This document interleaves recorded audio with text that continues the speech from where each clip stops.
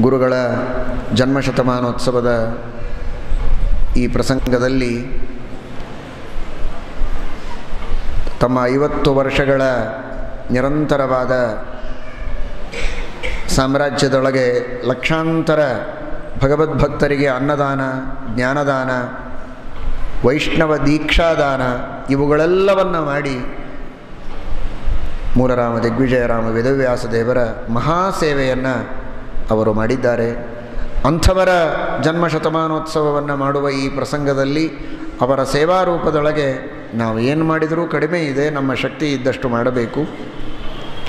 ಎಲ್ಲ ಊರುಗಳಲ್ಲಿಯೂ ಅವರ ಅನುಗ್ರಹವನ್ನು ಪಡೆದವರು, ಅವರಿಂದ ವೈಷ್ಣವ ದೀಕ್ಷೆಯನ್ನು ಪಡೆದವರು, ವೈಷ್ಣವ ದೀಕ್ಷೆಯನ್ನು ಪಡೆದವರ ಮಕ್ಕಳು, ಮೊಮ್ಮಕ್ಕಳು ಎಲ್ಲರೂ ಆಸೇತು ಹಿಮಾಚಲ ಇದ್ದಾರೆ.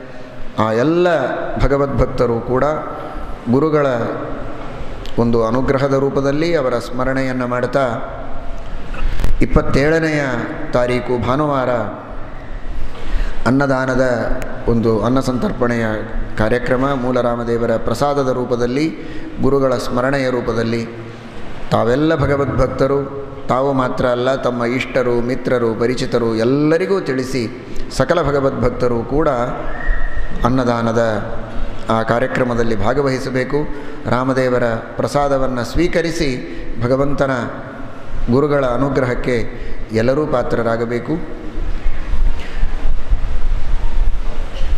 ಗುರುಗಳ ಶತಮಾನೋತ್ಸವ ನಿಮಿತ್ತ ಮಾಡುವಂತಹ ಹರಿವಾಯು ಗುರುಗಳ ಪ್ರೇರಣೆಯಿಂದ ಮಾಡುವ ಈ ಅನ್ನ ಸಂತರ್ಪಣೆಯ ಕಾರ್ಯಕ್ರಮದಲ್ಲಿ ಬೆಂಗಳೂರಿನ ಭಗವದ್ಭಕ್ತರೆಲ್ಲ ಶ್ರೀಮಠಕ್ಕೇನೆ ತೀರ್ಥಪ್ರಸಾದಕ್ಕೆ ಬಂದು ರಾಮದೇವರ ಅನುಗ್ರಹವನ್ನು ಪಡೆಯಬೇಕು.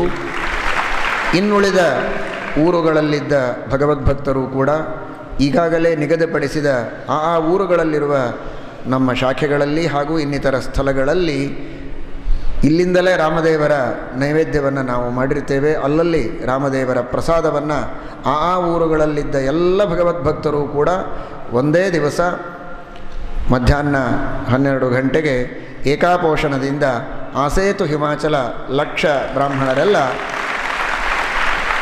ಪ್ರಸಾದವನ್ನು ಸ್ವೀಕಾರ ಮಾಡಿ ಭಗವಂತನ ಅನುಗ್ರಹಕ್ಕೆ ಪಾತ್ರರಾಗಬೇಕು. ಶ್ರೀಕೃಷ್ಣಾರ್ಪಣ